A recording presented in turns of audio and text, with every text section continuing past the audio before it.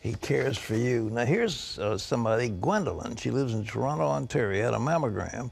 Her doctor called the results, and there was a dark mass. He wanted more detail to determine the depth of it. She called the 700 Club for prayer. Then she went for a second mammogram, and guess what? The mass had dissolved. It vanished. Praise the Lord. Well, listen to this. Yolanda from Round Rock, Texas. She has a 15 year old daughter. Her daughter had an MRI to confirm that she had bleeding on the left side of her brain. The doctors were unsure as to the cause of the bleeding. Yolanda called the 700 Club for prayer, and when her daughter had a follow up MRI, it showed that the bleeding had stopped. Both mom and daughter are praising God and giving Him the glory. Amen.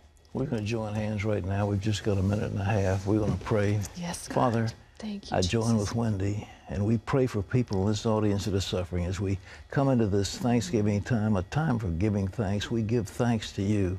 Right now, the people are suffering. They're in hospital beds watching this program right now. Lord, in Jesus' name, Jesus' name. touch.